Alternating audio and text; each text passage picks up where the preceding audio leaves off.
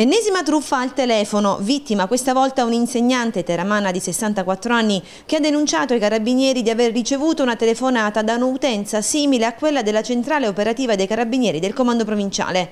Un soggetto dall'altra parte del telefono si è qualificato come ufficiale dell'arma per informarla che si era verificata una fuga di dati sensibili dai server dell'istituto di credito presso cui la vittima è correntista e che da lì a poco sarebbe stata contattata da un incaricato del servizio antifrode della banca. Poco dopo la vittima infatti viene contattata con un'altra utenza mobile dal sedicente incaricato della banca, il quale le riferisce che avrebbe dovuto fare un bonifico istantaneo di 11.000 euro su un codice IBAN indicatole dallo stesso. Fatto quel bonifico la donna si sarebbe dovuta recare in caserma per parlare con l'ufficiale dei carabinieri che l'aveva contattata all'inizio, ma quando l'insegnante si è presentata al comando provinciale di Teramo ha realizzato di essere stata truffata, posto che nessun carabiniere l'aveva contattata contattata dal centralino della caserma.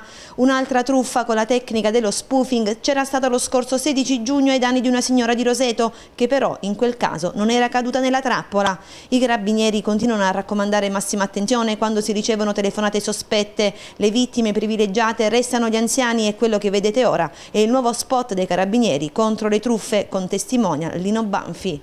Chiamate l'112, noi possiamo aiutarvi. Oh! Aprite bene gli occhi, eh?